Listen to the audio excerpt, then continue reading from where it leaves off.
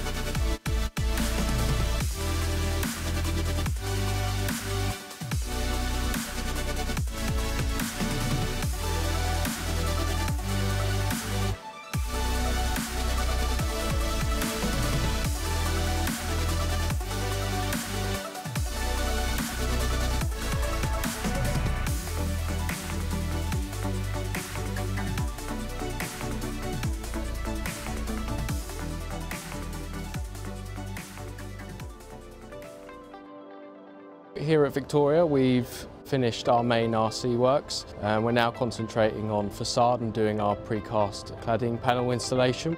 So we're currently stood next to the New River Wall, which is made up of a series of precast panels. And now with these panels, the build-up of them is they'll have a 300 mil thickness.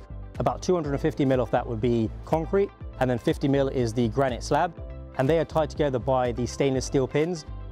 At the minute as well, we're currently starting our landscaping works. So we're doing some steel fixing and some concrete pours before we put down the granite paving slabs, which will then connect into our granite cladding panels on the side.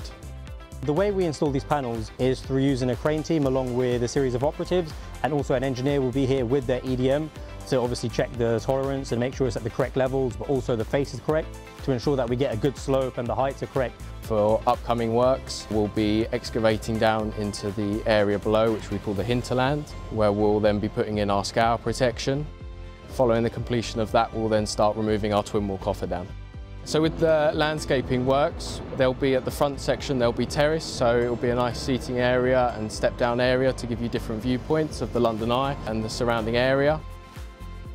So I think it's also a very good project in the sense where there's many different sites. So even if I'm not stationed at a particular site, just seeing pictures and speaking with other people I know at that site and seeing the sort of work that's going on and the different variety, I think is very eye-opening and a very good learning curve. Here at Victoria it's obviously very scenic with the views and everything but we do see more than engineers and cranes. We do get a lot of tourists and uh, people curious to see what we're up to. Since graduating, this is the first project that I've actually joined and I think it's a fantastic project as I've get exposure in a wide range of different activities like from the heavy civils, being able to see the roof slab being cast to now the landscaping sort of works. It's also a very good project to work on due to what the project stands for as once this project is commissioned, it's really going to help clean up the River Thames and improve the overall quality of the Thames. So to be able to say that I worked on this particular project is very inspirational, but also it's going to be a project which I know is going to make a very long-lasting impact on London.